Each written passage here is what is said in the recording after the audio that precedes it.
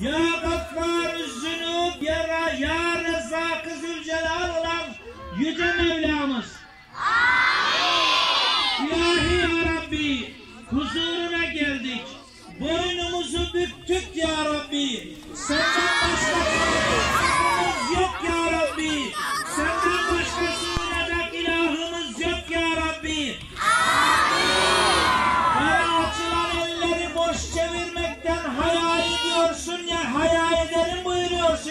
は。